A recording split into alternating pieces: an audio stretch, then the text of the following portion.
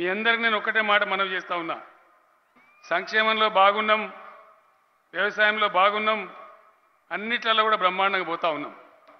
సింగరేణి సోదరులు కూడా ఈ మీటింగ్లో చాలామంది ఉంటారు. ఈ ప్రాంతం సింగరేణి కాబట్టి. సింగరేణి మళ్ళా మొదలు పెట్టిరా?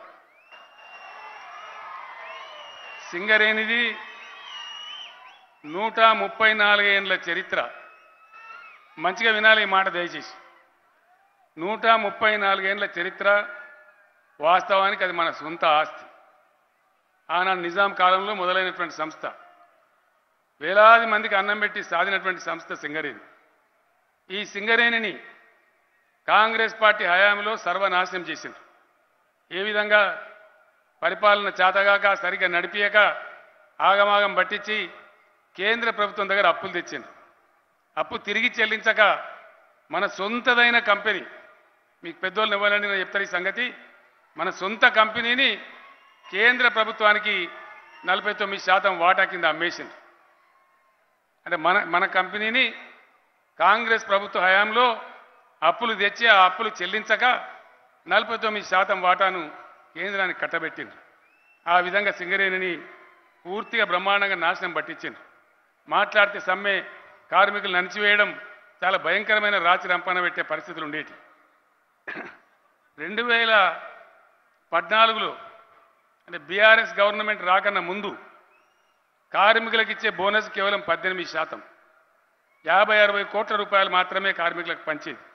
కానీ ఇవాళ తెలంగాణ వచ్చిన తర్వాత సింగరేణి నడక మారింది. సింగరేణి స్టైల్ మారింది. కేవలం పదకొండు వేల కోట్లు మాత్రమే రెండు వేల పద్నాలుగులో సింగరేణి టర్నోవర్ ఉండే. ఇవాళ అదే సింగరేణి టర్నోవర్ను మన తెలంగాణ బిడ్డల ఆధ్వర్యంలో బ్రహ్మాండంగా ముప్పై మూడు వేల కోట్లకు ఆ టర్నోవర్ మనం పెంచుకున్నాం. అదేవిధంగా సింగరేణి గతంలో వచ్చే లాభాలు కేవలం మూడు వందలు నాలుగు వందల కోట్లుండే అప్పుడు రైతులకు బోనస్ చాలా తక్కువ దొరికేది. ఇవాళ సింగరేణిలో ఈ సంవత్సరం వచ్చిన లాభాలు రెండు వేల ఒక వంద ఎనభై నాలుగు కోట్ల రూపాయలు. ఈ మాట మంచిగా వినాలి దయచేసి. గతంలో కార్మికులకు యాభై అరవై కోట్ల రూపాయల బోనస్ కింద వచ్చేది. ఇప్పుడు వచ్చే దసరాకు సింగరేణి కార్మికులకు మనం పంచబోతున్న బోనస్ ఏడు వందల కోట్ల రూపాయలు. అంటే ఆనాడు మొత్తం కంపెనీకి వచ్చే లాభంతో డబల్ త్రిబల్ అంతా ఇలా బోనసే ఇచ్చుకునే పరిస్థితికి మనం సింగరేణి తీసుకొని పోయినాం. అదేవిధంగా సింగరేణికి నూతన నియామకాలు చేసుకున్నాం.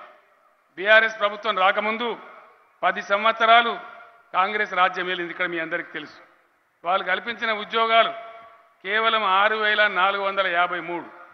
సింగరేణి తెలంగాణ వచ్చిన తర్వాత డిపెండెంట్ ఉద్యోగాల హక్కును మళ్ళా పునరుద్ధరించి పంతొమ్మిది వేల నాలుగు వందల అరవై మూడు ఉద్యోగాలు సింగరేణిలో మనం కల్పించడం జరిగింది.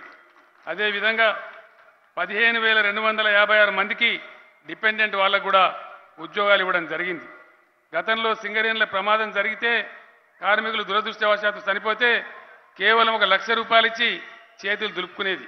కానీ ఇవాళ ప్రభుత్వం బీఆర్ఎస్ ప్రభుత్వం పది లక్షల రూపాయలు దాన్ని పెంచింది ఆ విధంగా ఇస్తా ఉన్నది. డిపెండెంట్ ఉద్యోగం తీసుకోకుండా ఎవరైనా రిటైర్మెంట్ తీసుకుంటే వాళ్ళకి ఇరవై ఐదు లక్షల రూపాయలు ఇచ్చేటువంటి వసతులను కూడా తీసుకొచ్చి పెట్టుకున్నాం. కార్మికులకు ఇంటి రుణాలు మిత్తి లేకుండా వడ్డీ లేకుండా పది లక్షల రూపాయలు వాళ్ళకి వడ్డీ లేకుండా వాళ్ళు ఇల్లు కట్టుకోవడానికి ఇస్తా ఉన్నాం.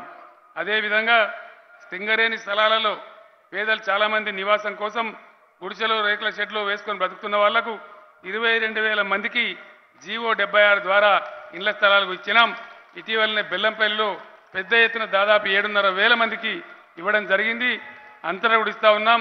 ఇక్కడ దివాకరరావు గారు మల్లమ్మన వచ్చి కొందరు మిగిలిపోయి ఉన్నారు. వాళ్ళందరూ కూడా ఇవ్వాలని చెప్పి నాకు చెప్పడం జరిగింది. వాళ్ళందరికీ కూడా ఈ దశాబ్ది ఉత్సవాలలోనే అందరికీ ఇళ్ళ స్థలాలు ఇప్పిస్తామని చెప్పి నేను మనవి చేస్తా